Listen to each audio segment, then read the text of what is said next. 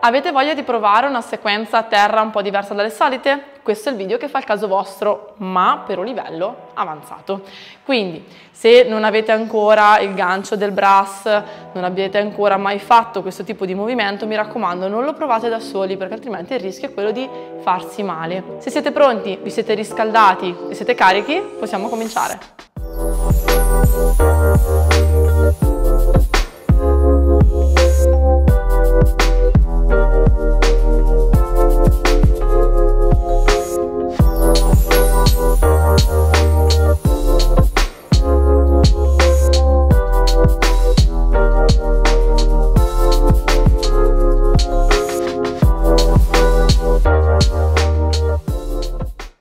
Ragazzi, se la sequenza vi è piaciuta non è lunghissima, è un insieme di movimenti e passaggi fatti tutti a più o meno a terra, ok? Possiamo cominciare. Mi raccomando, come ho già detto, se non avete mai provato eh, alcuni movimenti che ho fatto, fate attenzione, soprattutto perché già dal primo slancio è un po' diciamo pericolosino, quindi mi raccomando, se non l'avete mai fatto da soli, fatevi fare assistenza da qualcuno che sa come farvi l'assistenza. Quindi cominciamo.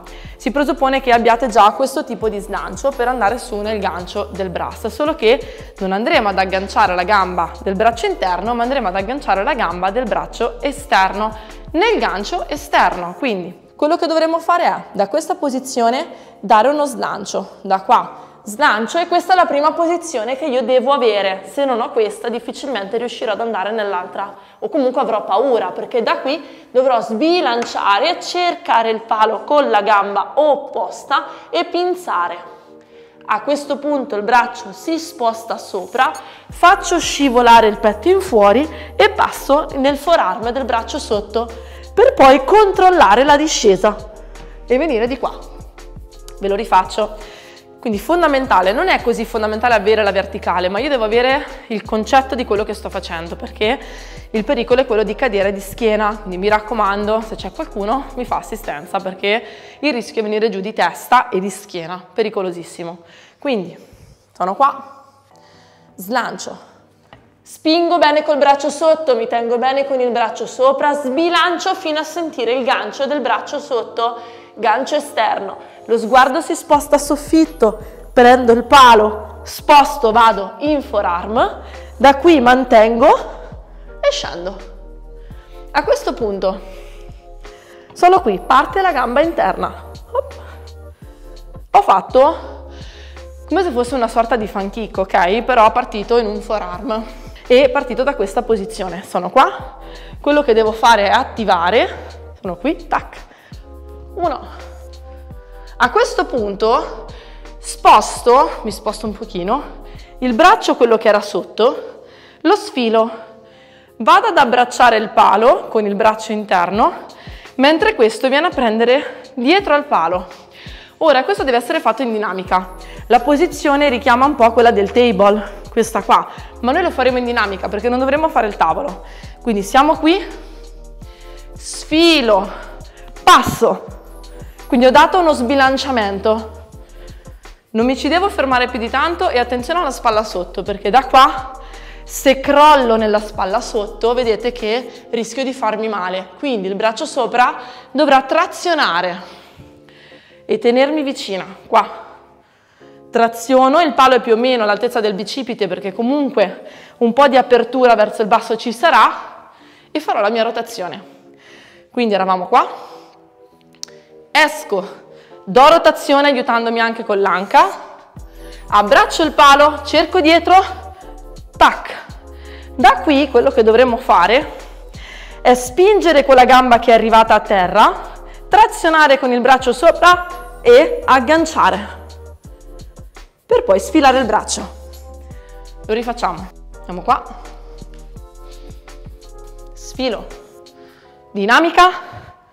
Tac pinzo, sfilo, gomito a terra chiudendo la gamba.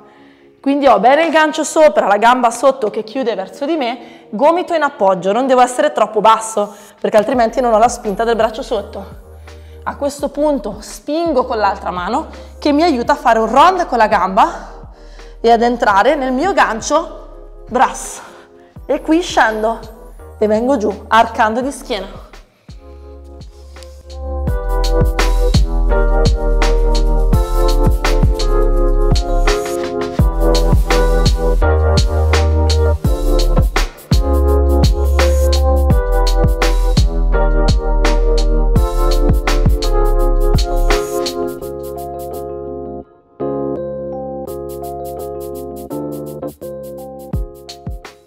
Una volta che siamo arrivati nel nostro gancio braccia dovremmo risalire. Come faccio a dare quella rotazione? Dovrò aiutarmi con le braccia e dovrò aiutarmi con la gamba, quella tesa che spinge verso il palo. Ora, mettere il piedino flex le prime volte viene naturale, è venuto anche a me perché avendo il calzino un pochino scivolo, quindi è normale, non vi preoccupate, però cercate di spingere con le mani, un pochino, spingere con la gamba verso il palo, ok? Quindi proviamo a vederlo. Lo rivediamo da qua, siamo arrivati qua. Da qui. Gomito, mano. E passo. Qua, aggancio. E sono qui. Da qui chiudo la gamba, dietro un pochino il sedere, le braccia faranno questo. E su, chiudo le gambe e scendo. Vedete che do una leggera rotazione anche con le gambe. Quando vengo su c'è un leggero spostamento di bacino, quello contribuisce a darmi la rotazione, oltre che dovrete usare anche le mani per farlo.